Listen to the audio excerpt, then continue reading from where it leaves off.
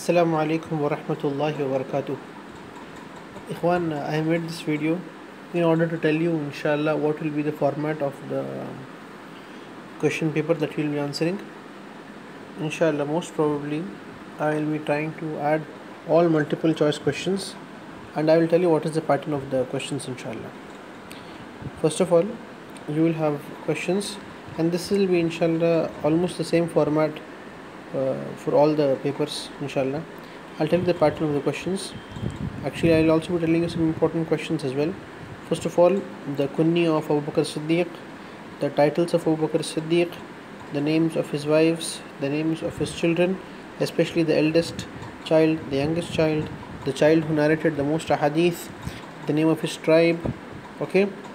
And uh, then his actual name then abu bakr siddiq radiallahu anhu whose name till his grandfather okay abdullah ibn uthman ibn amir ibn amir and his father's kunya abu quhafa okay and his age difference with the prophet wasallam for how many years he ruled who are the three panelists who selected him? Some of his special virtues. Special virtues means it's not like abu bakr was brave because bravery was a common characteristics with all the sahaba okay. A special virtues would be companion of the cave fine. And then uh, okay things like uh, the first one who, who was the first one accepted islam okay first khalifa of islam. So these are special virtues virtues which are only for abu bakr siddiq radiallahu anhu and not for anyone else okay. Then questions like which are the battles he participated in which are the battles he did not participate in okay. Um, okay and things like his role in um, okay his role in fighting the apostates okay how was he selected?